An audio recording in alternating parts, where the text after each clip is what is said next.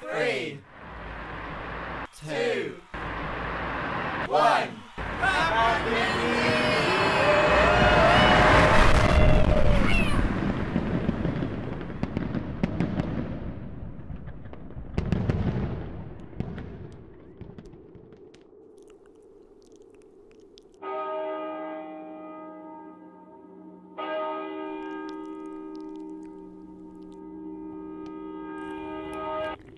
Oh my god, what is that?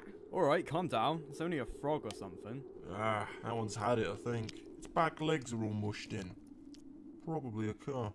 Yeah, probably a car. Oh, poor little thing. Shouldn't we do something?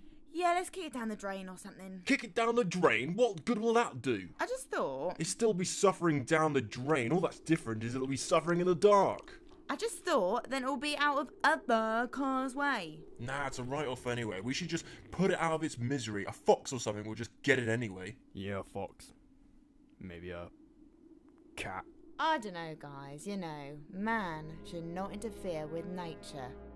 Well, it's already been hit by a car, so man has already interfered. Well, it was probably a woman driving. Ah, Careful. Can't we take it to the vet or something? it's a frog. They'll just put it down anyway. Yeah, they'll put it down. The most humane thing to do is put it out of its misery now. I can do it if you want. No, I'll do it. You can't do it in sandals. Why do you guys always want to step on everything? You know I love frogs. We've got loads of them in our garden.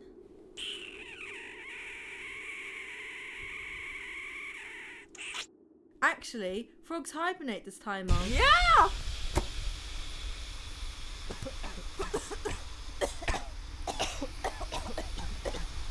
What? You?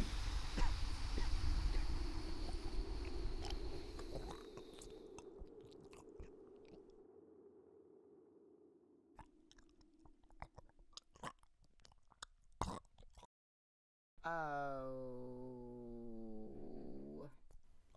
Kill me.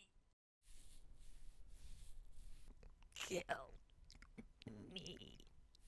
Please. Yeah. Maybe. Maybe we should kick it down the drain.